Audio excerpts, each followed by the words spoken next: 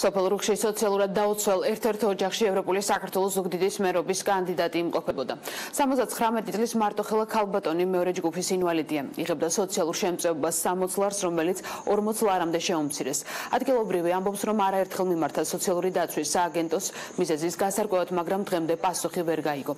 მერობის კანდიდატი ქალბატონს პრობლემის გარკვევას დაპირდა ასევე ევროპული საქართველოს ინიციატივაც გაცნო, რომლის თანახმადაც თვითმართველობის არჩევნებში მოგებულ რაიონებში ბიუროკრატიული ხარჯების და პრემია დანამატების გაუქმებით გაიზრდება პენსია და სოციალური დახმარება.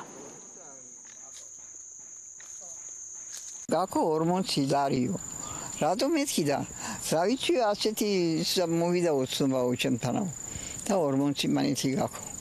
40 მანითი წამალი არ მეყოფა დღეში, გამგებელთან მივედი და იმან მითხრა, ის ჩვენ არ გვეკუთვნისო. ჩვენი პროგრამა პენსიასთან დაკავშირებით არის ამ ადამიანებისათვის ძალიან მნიშვნელოვანი. რა თქმა უნდა, ეს არ არის საკმარისი იმისათვის, რომ ამ ადამიანებმა უზრუნველად იცხოვრონ, მაგრამ ეს არის ის რისის შეთავაზება ჩვენ ამ ჯერზე შეგვიძლია.